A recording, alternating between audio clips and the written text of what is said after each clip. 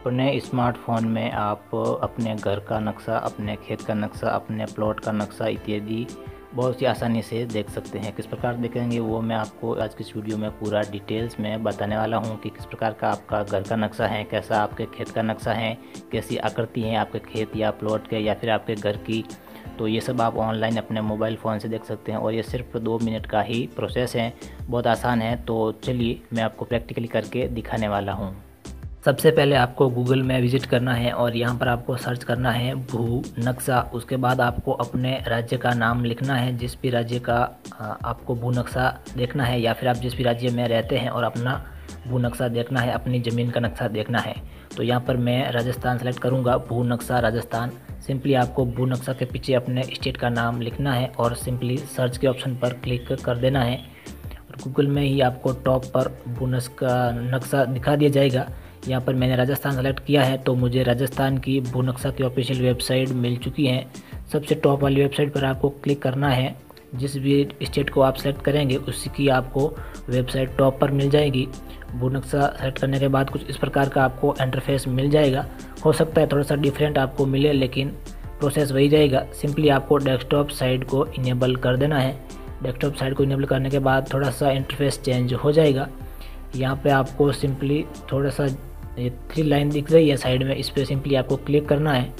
Click करने के बाद आपको यहाँ से अपना डिस्ट्रिक्ट सेलेक्ट करना है सिंपली सबसे पहले यहाँ पर आप देख सकते हैं, जिस भी आपको डिस्ट्रिक्ट में रहते हैं, उसको आप सेलेक्ट करना है। एग्ज़ाम्पल के तौर पर मैं कोई भी एक डिस्ट्रिक्ट सेलेक्ट कर देता हूँ। डिस्ट्रिक्ट सेलेक्ट करने के बाद आपको तहसील सेलेक्ट करनी है। सेकेंड नंबर पर आएगी तहसील।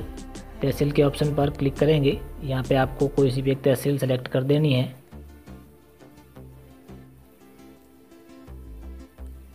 तहसील को सेलेक्ट करने के बाद आपके सामने कुछ इस प्रकार का इंटरफेस ओपन हो जाएगा। यहाँ पे आपको तहसील के बाद एक और विकल्प मिलेगा।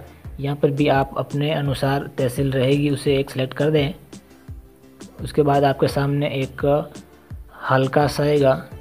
जो भी आपकी तहसील है, तहसील या फिर जो भी आपकी पंचायत समिति, उसे यहाँ से सेलेक्ट करेंगे। उसके बाद आपके सामने विलेज का नाम आ जाएगा। यहाँ से आपको अपना विलेज सेलेक्ट करना है। विलेज सेलेक्ट करने के बाद यहाँ से आपको सीट नंबर पर क्लिक करना है। जो भी रहेगी वही रहेगी। उसके बाद यहाँ से आपको प्लेट इन्फो के ऑप्शन पर क्लिक कर देना है।